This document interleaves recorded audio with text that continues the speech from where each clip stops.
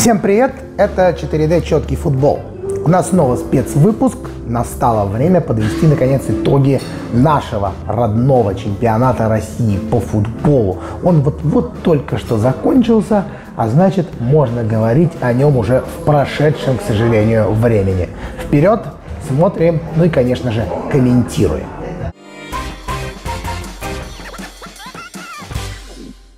В этом сезоне, наверное, можно выделить сразу нескольких игроков э, в качестве главных открытий. Там, если брать Тульский Арсенал, который всех нас удивил своим шестым местом, э, минимальным количеством пропущенных голов весной, то, конечно, там выделяется Мохаммед Кадири, который из Австрии приезжал вообще центральным защитником, а тут раскрылся на позиции опорника, еще и достаточно часто лезущего во водку, там почти полтора раза за 90 минут. Это очень много для игрока этой зоны. И, конечно же, Зелимхан Бакаев – но все-таки там тот же Бакаев, это воспитанник э, московского «Спартака», то есть он у нас был на радарах, мы хоть что-то, но о нем слышали. Поэтому главным открытием сезона для меня является Алексей Сутармин из Оренбурга. Э, никто не ожидал, что Алексей так взорвет в РПЛ, и никто не ожидал, что он так взорвет еще и на позиции правого латерая э, в первую очередь, потому что, если вы помните, летом и в сентябре Сутармин играл именно на этой позиции, пока выздоравливал основной правофланговый игрок Оренбурга Андрей Малых. Владимир Федотов, главный тренер Оренбурга, рассказывал, как очень много работали с Суттерминым именно в игре в отборе, и в какой-то момент э, это даже влияло на атакующий потенциал Суттермина, то есть он стал забывать какие-то атакующие навыки, сосредотачивался на игре без мяча, и, соответственно, э, это, опять же, шло не в пользу, наверное, в целом Оренбурга, но вот э, это было еще ФНЛ, но в РПЛ Суттермин классно очень проявлял себя в атаке, допускал минимум позиционных ошибок в обороне, а потом с выздоровлением малых сначала он перенесся на позицию одного из инсайдов, а потом уже во второй части сезона, сейчас весной, он стал уже играть чаще на одной линии с Деспотовичем, в атаке уже практически чистым нападающим. И, конечно, это было очень ярко. 8 голов, попадание в топ-5 тоже по отборам. Один из лучших игроков Оренбурга по ключевым передачам, самый бьющий игрок Оренбурга. То есть такой очень нетрадиционный набор Сутармин собрал. Думаю, что все-таки он перейдет в топ-клуб. В сборной его сейчас Станислав Саламович не вызвал на июньский матч с Сан-Мариной и Кипром, но я думаю, что в сентябре, в октябре мы уже с Термина вполне можем увидеть сборной. Не могу сказать, что этот сезон был прям каким-то дико богатым на открытие. Месси, Роналду и прочие топ-таланты у нас пока все-таки не появляются. Из команд я бы, наверное, отметил Арсенал Игоря Черевченко. С точки зрения игры, эта команда, ну, скажем так, из новых произвела на меня самое благоприятное впечатление. В остальном же, в общем, каких-то особых сенсаций не было. Более-менее все сыграли так, как планировалось. Ну, были, конечно, и исключения, и тем не менее, все-таки, если выбирать, например, между Арсеналом и Оренбургом, то для меня именно с точки зрения игры Арсенал все-таки, наверное, показался более интересной командой. Будем с нетерпением ждать, что будет с тульскими товарищами в следующем сезоне.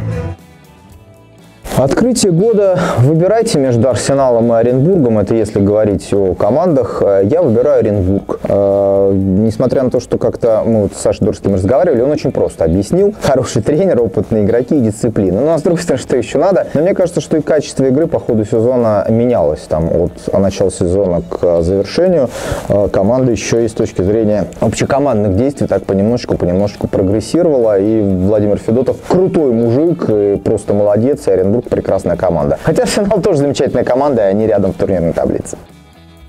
Спонсор этого выпуска – компания Париматч. Переходи по ссылке в закрепленном комментарии, регистрируйся на сайте и получай бонус 1000 рублей на первую ставку.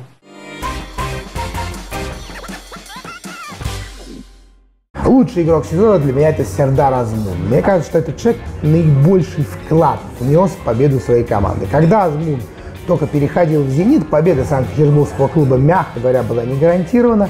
Игра команды Сергея Симака радовала ничуть не больше, чем Краснодар, ЦСКА или Спартак. И вообще у меня были большие сомнения, что «Зенит» способен стать чемпионом, даже несмотря на то, что у него вроде бы изначально есть какой-то запас. Но вот Азмун пришел и практически все изменил. С ним и Дзюба по-другому стал выглядеть. Ну и потом, ну вот действительно, вклад, даже чисто эмоциональный, те голы, которые Азмун забивал – мне кажется, достойно называния игрока года в России. Слушай, ну Азмун, я два года назад голосовал, помню, в вопросе Жделика футбол за него как за лучшего футболиста сезона. Он очень крутой, но все-таки он на таком мощном уровне отыграл а, фактически полсезона. Мне кажется, после этого называть его лучшим игроком всего сезона, может не про игрока, половина календарного года говорим. При том, что уровень просто отличный Азмуна.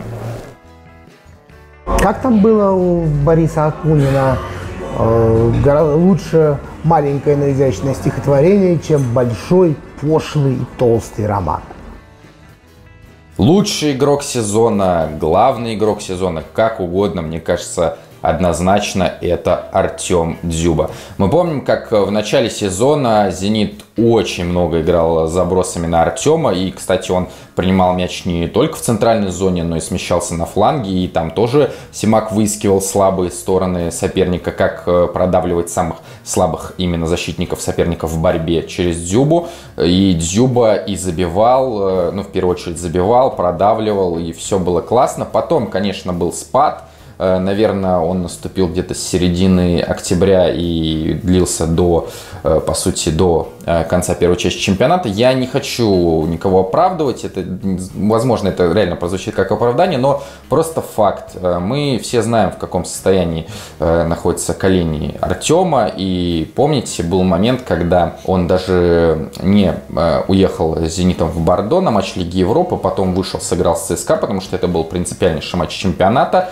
ему стало плохо, во втором тайме он просил замену, и э, он даже пропустил один матч Лиги наций за сборной, но все-таки приехал на решающий матч со Швецией и сыграл, и, конечно же, в таком состоянии не мог помочь сборной. Это, опять же, не оправдание, просто, мне кажется, этот факт важен для понимания вообще состояния Артема и э, через что ему приходится проходить, чтобы показывать то, что мы видим, собственно, в его исполнении на поле. Ну, а во втором, э, во второй части чемпионата Артем совершенно раскрылся в новой роли. Да, возможно, она не новейшее, потому что мы помним, как э, Валерий Георгиевич Карпин еще в начале 2010-х использовал Артема в качестве такого игрока подыгрывающего. Сейчас э, Сергей Богданович, возможно, использовал тот опыт, возможно, он вообще не ориентировался на это, не знаю. Это, кстати, очень интересно у Сергея Богдановича спросить. Но в любом случае Дзюбак очень классно играл в подыгрыши, отлично отдавал Азмуну. Азмун забил э, два гола после передачи Артема, и в целом Артем стал лучшим ассистентом премьер-лиги. И, что еще важнее, даже по продвинутой статистике, статистике он стал лучшим игроком э, российской премьер-лиги. По качеству передач под удар э, в последнем туре он опередил Николу Влашича по этому показателю. Казалось бы, вот, э, вот эти два статистических факта представь кому-то и попроси назвать, а кто это? Я думаю, что там фамилия Дзюба прозвучит там, максимум в одном случае из 10. А вот так вот Артем раскрылся вот так вот. Зенит стал чемпионом. И, конечно же, еще и яркость Дюбы, там его жесты, его фразы, они, конечно, тоже влияют на его восприятие. Поэтому я и говорю, что он э, не только лучший, но и главный игрок прошедшего российского сезона. Лучший игрок сезона. Э, несколько было очень достойных кандидатов, но мой выбор Марио Фернандес. Э, просто потому, что на протяжении всего сезона Марио демонстрировал уровень высочайший, уровень европейский, я думаю, даже мировой. Осмелюсь настаивать. И я думаю, что уровень этот очень редкий для нашего чемпионата. Фактически, несмотря на то, что команда заняла четвертое место, но в построении игры ЦСКА очень сильно зависела от Марио Фернандеса. Когда его не было, ну, мягко говоря, становилось очень сильно хуже. Я не знаю, останется ли Фернандес в ЦСКА или отправится отправиться в «Зенит» или в «Атлетико». А, но стабильность, причем а, постоянная игра просто невероятная, а, это то, что всегда с ним в любом случае Марио Фернандесу удачи.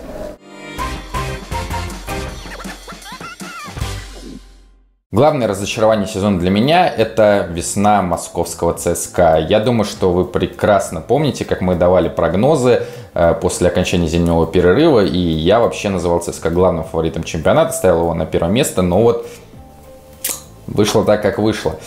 Конечно же, поздняя осень и особенно фактор победы над Реалом, который случился прямо перед отпуском, он очень сильно повлиял на вот наши головушки, и мы такие, ой, ЦСКА, Гончаренко такой гибкий, ЦСКА такие молодые, задорные, веселые, все классно, Влашич, Сигурдсен, Чалов, Бикао, Родриго Бикао. Но вот весна всех нас чуть-чуть, чуть-чуть так э, приземлила, и в особенности, конечно, болельщиков ЦСКА. К сожалению, да, очень сдала оборона, не выручала Кенфеев. Я бы даже сказал, не то, что выручала в каких-то моментах и подставлял. К сожалению, Игорь, не знаю, там сказывается колено, не колено, но весна явно ему не удалась. Поэтому от кого мы больше всего ждем, тот больше всего и расстраивает, если что-то не получается. Мы опять же возвращаемся к теме, э, допустим, Челси и Маурисио Сари. Поэтому вот так. А от, я предполагаю, что мои коллеги назовут какой-то другой московский клуб в качестве главного разочарования, но ну, разве мы от него многого ждали? Разочарование года, ну, я понимаю, что это как-то звучит несерьезно, но это московский «Спартак». Ну, я еще до последнего тура не хотел э, говорить, потому что все время говорят про «Спартак», но в итоге вот этот э, сезон невероятно какой-то обсуждаемый с изобилием э, всяких слухов, тут желтая пресса, болельщики, команду трясет, э, меняют тренера, и завершился еще тем, что пропустили два мяча в Оренбурге, второй мяч увидели какой, э, при этом говорить, что Максименко отыграл встречу плохо, но ошибка ошибки были, но фактически он был а, в составе своей команды одним из лучших. Ну, в общем, конечно, сезон вот весь вот так, вот так, всяк наперекосяк, и еще и так закончили. Так что московский «Спартак», конечно, главное разочарование этого сезона. Персональное разочарование сезона для меня это главный тренер «Спартака» Олег Кононов. Вызывал большую симпатию своей работой в Краснодаре, тем, как он себя вел, но, к сожалению, он После этого пока что Олегу Георгиевичу ничем себя проявить не удается. В «Спартаке» же, в общем, он выказал все недостатки, которые за ним подмечались и раньше, и практически не выказал никаких достоинств. Да, он, конечно, очень красиво пел про спартаковский футбол, про связь с историей, про старостиных, но на поверку, в общем, оказался тренером неспособным руководить «Спартаком» в данный исторический период. К сожалению, это тотальнейший провал – полный зашквар и совершенно колоссальная неудача и самого Кононова, и всего «Спартака». Меня, честно говоря, тоже некоторые решения Кононова удивляли. И, безусловно, ничего особенного, мягко говоря, с Спартаком он не показал. Но сейчас свалить все на главного тренера а, после а, вот, завершения сезона, а, это значит а, еще 2-3 года точно а, ничего не добиться. Потому что очевидно, что главная проблема Спартака не в главном тренере. Спартак – команда с могучим очень брендом, с огромным количеством болельщиков, всегда привлекающая внимание. Ну, прямо скажем, в целом весь проект управляется очень специфично, я бы сказал, импульсивно и, безусловно, то есть я сейчас говорю именно про весь менеджмент, про то, что вот в «Спартаке» постоянно происходит. Ну, безусловно, тренеры, игроки тоже свою лепту в эту неудачу внесли. Но я просто к тому, что вот если назвать а, виновником главного тренера, ничего хорошего точно не ждет. «Спартак» в ближайшее время, мне кажется, там надо как-то все э, сдвинуть глобально с мертвой точки, хотя как это сделать, э, тоже не совсем ясно. А я не говорю, что на Конана надо прям перекладывать всю ответственность. Я говорю, что вот персонально для меня он стал разочарованием в любом отношении. А то, что в «Спартаке» всегда может случиться какая-то жопа, ну это, в общем, дело известное.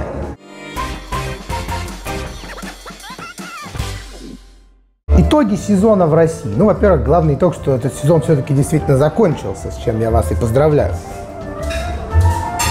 Второе, к сожалению, все последние сезоны в России проходят примерно по одному и тому же сценарию. В каком смысле?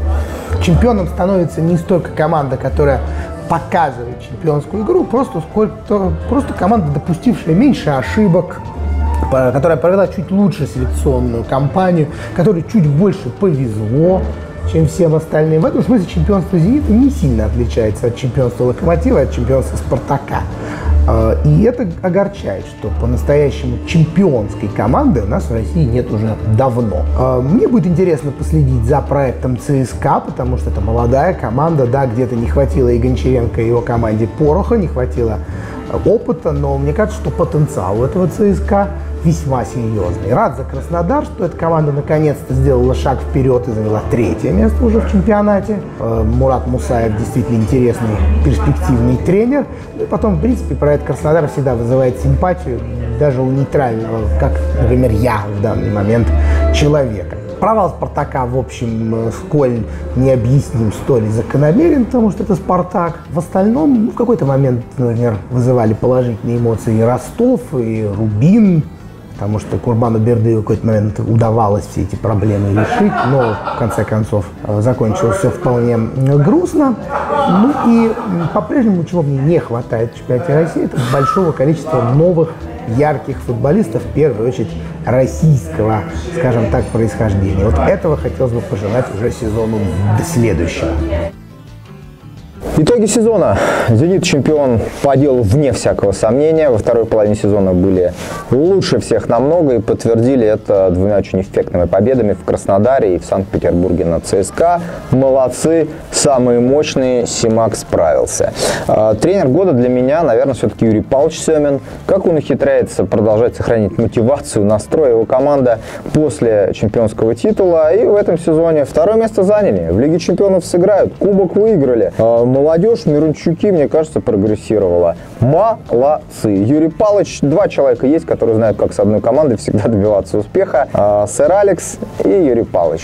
Оба молодцы. Юрий Павлович продолжает трудиться. Здоровья и успехов э, Юрию Павловичу Семину. Его команда накатила на финиш очень мощно. А, ну и э, были, конечно, и другие. Я сейчас о хорошем, да, говорю. В какой-то степени открытия личные. Ну, например, как ни крути. Э, Федор Чалов это же в какой-то степени открытие. Как молодого талантливого игрока мы его знали, а как лучшего бомбардира, который сможет достаточно стабильно забивать и прибавлять. Был у нас когда-то Рома Павлюченко э, в программе «Футбол России» сказал, посмотрите, как Чалов работает с мячом. Действительно, посмотрите, как работает. Может быть, э, головой играет ну, не лучше всех, может быть, иногда э, не так резок, как нужно в определенном моменте, но с мячом очень здорово. И матч с крыльями это подтвердил. Второй мяч прекрасный. Просто насколько мягко, технично, ну, в общем, дальнейшего прогресса. Ну и внизу у нас все э, о грустном Нельзя забыть о грустном. У Анжи большие проблемы. Эта история продолжается из года в год. И пока у нас футбол живет в, нынешней, в нынешних экономических реалиях, пока у нас футбол э, финансируется и выстраивается экономика именно так, я думаю, что, увы, но такие истории будут повторяться, э, в общем, достаточно регулярно. Мне кажется, главный итог э, этого чемпионата, главное слово его – это переход. Мы привыкали к стадионам чемпионата мира, переходили на какой-то новый уровень мышления и любви к футболу, то есть посещаемость очень выросла. Э, мы переходили и привыкали к тому, что инфраструктура, построенная к тому же чемпионату мира, может быть не так хороша, как мы думали, как мы хотели. Да, там я говорю и про какие-то проблемы на стадионах. Помните, какие проблемы были в Самаре? Ну и, например, о э, плитке на станциях Новокрестовской, Беговая в Петербурге. Это что-то просто шикарное. Ну и, конечно, если так э, проходиться по топ-командам, смотрите, Краснодар переходил к большому количеству своих воспитанников, кто бы что там ни говорил и как бы не шутил, к полноценному сезону со своим тренером-воспитанником. Локомотив переходил к новому руководству. В середине сезона ушел Илья Геркус, пришел Василий Кикнадзе, и мы видим, что на примере ситуации с Игорем Денисовым такое, такая смена руководства может повлечь за собой серьезные последствия, там, пока что не для всей команды, для одного футболиста, но для футболиста, который был очень важен чемпионский э, год Лока. Спартак переходил от ностальгии по чемпионству, от периода Массима Каррера к да черт его поймешь, к чему переходил Спартак, ну к чему-то он там переходил.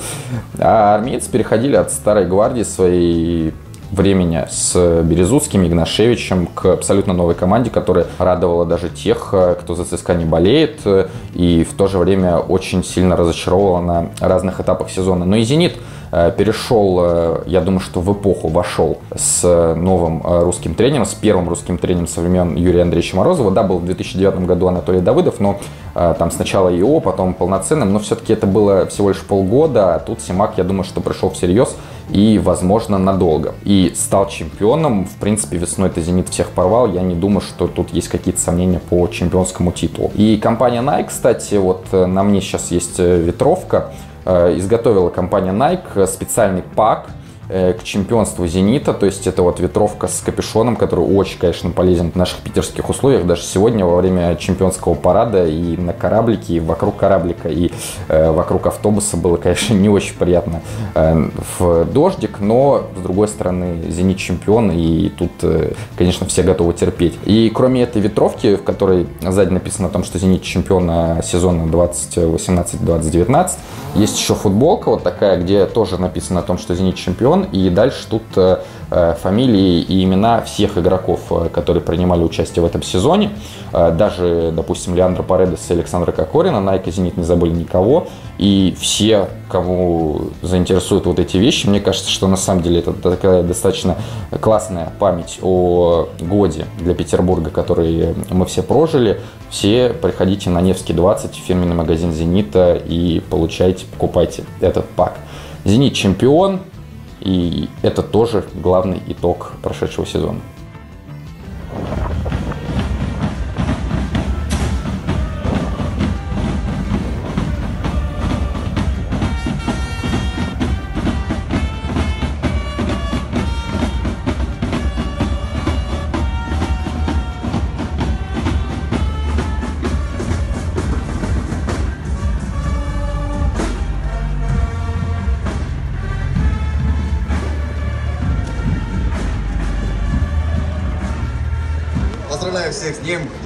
Города. Спасибо большое за поддержку, за то, что вы празднуете вместе с нами, и мы вместе с вами уже третью неделю празднуем наше чемпионство.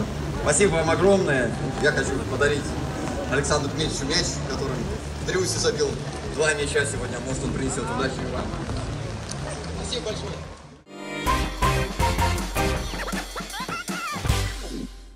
Вопрос к Саше Дурскому, который продолжает праздновать с «Зенитом». Я решил, ну, как мы же тут в Москве, как нас иногда обвиняют, только и ждем, как бы гадость сказать болельщикам «Зенита». Так что я решил Саша спросить. Саш, а есть что-то в игре «Зенита», чего ты пока не видишь, а очень бы хотелось? Может быть, даже три каких-то пункта. Вот очень тебе хочется, как журналисту, при этом человеку, выросшему в Санкт-Петербурге, болеющему за «Зенит», но чего пока ты не видишь? Вот скажи. Вы, конечно, там в своей Москве вообще с ума посходили. Команда стала чемпионом с огромным отрывом. Выиграла всех весной, вынесла всех. Э, сегодня выиграла 4-1. Но чего там ты не видишь в игре «Зенита»? А, чего-то там все-таки не так.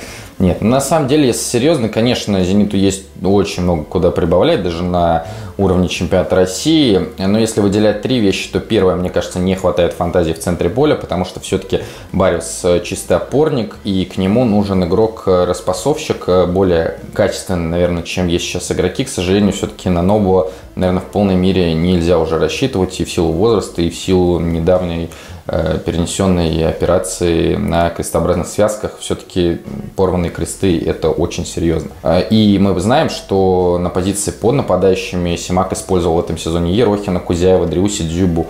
Да, Артем Зидан, лучший ассистент, все классно, но все-таки ни у одного из этих игроков сильнейшим качеством никогда не был последний пас. И поэтому мне кажется, что нужен игрок, э, ну, если вот применительно Зениту говорить, типа Жулиана – но в то же время, который будет намного более интенсивный, намного более объемный, потому что дисциплина для Симака это очень важно, чуть ли вообще не самое важное, что есть на футбольном поле. Второе, мне кажется, все-таки не достает качества, в целом качества на флангах. Э, да, Ригони классно вернулся из-за таланты, Смольников прибавил весной, Юрий Жиркову просто респект и удачи на чемпионате мира 2026 но все-таки, мне кажется, на уровне, опять же, Лиги Чемпионов, а если говорить про Жиркови с учетом возраста, наверное, на уровне чемпионата России, нужны какие-то новые игроки. Не знаю, там, какие роли для них отведет Сима, какие функции, но в целом качество, мне кажется, нужно добавить. Ну и третье, мне кажется, не увидит человек даже под лупой э, с идеальным зрением. Это скорость центральных защитников «Зенита», к сожалению. Э, Иванович и Ракицкий не становятся моложе, да и у Ракицкого скорость никогда не была э, сильнейшим или даже просто сильным качеством. Э, поэтому мне очень интересно, и мне кажется, очень важный вопрос следующего сезона, как Симак будет распределять э, время между э, Ракитским, Ивановичем и Маманой, и, возможно, будет переходить полноценно на схему с тремя центральными защитниками, тогда будет учить этой схеме Маману, потому что сейчас-то при трех центральных защитниках с правым центральным играет Анюков, потому что Симак как раз считает, что Ников э, более обучен к этой схеме, чем Мамана. Иванович практически стопроцентно остается, у него он должен был сыграть определенное количество матчей для автоматической пролонгации контракта, он их, естественно, сыграл, поэтому Ива остается, в отличие, точно остается, в отличие, там, допустим, от Жиркова, Анюкова и Зидана. Посмотрим, что будет, но в любом случае следующий сезон будет еще интереснее, Лига Чемпионов, Зенит возвращается, Э, не уверен, что это будет очень качественно, но это точно будет очень интересно.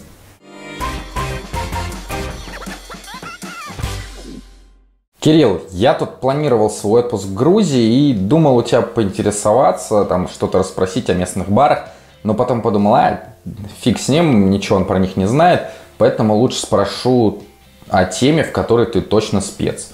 Что ты знаешь о Тамбове и Сочи, вышедших в РПЛ? На этот вопрос отвечу просто. Не знаю ни хрена.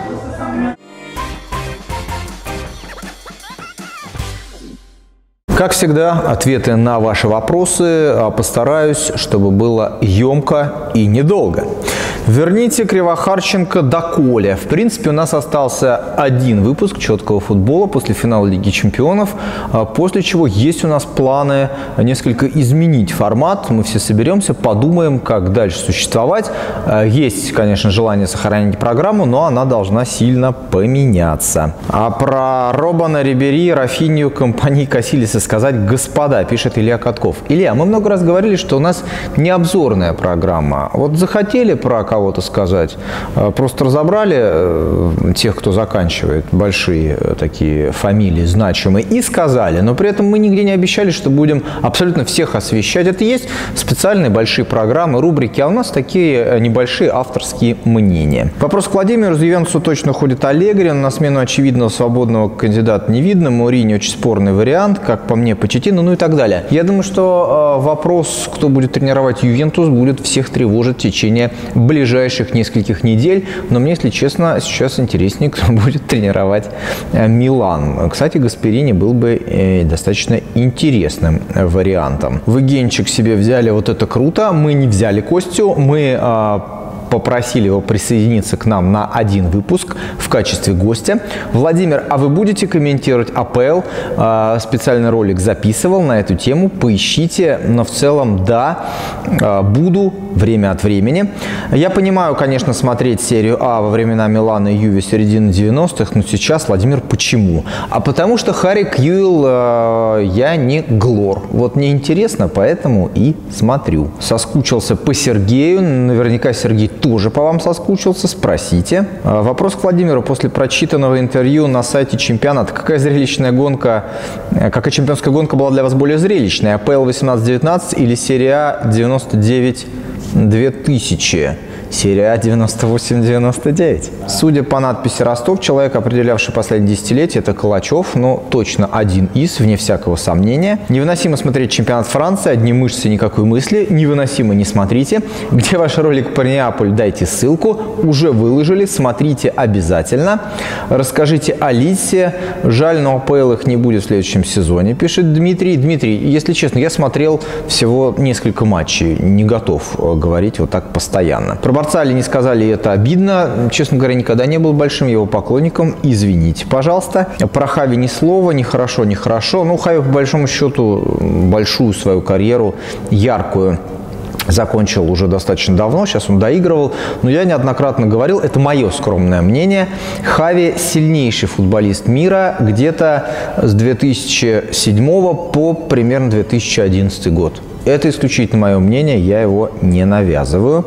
7 ТВ сколько ностальгии у меня тоже. Дорский уходи не дождетесь. Калачева будет не хватать легенда. Согласен.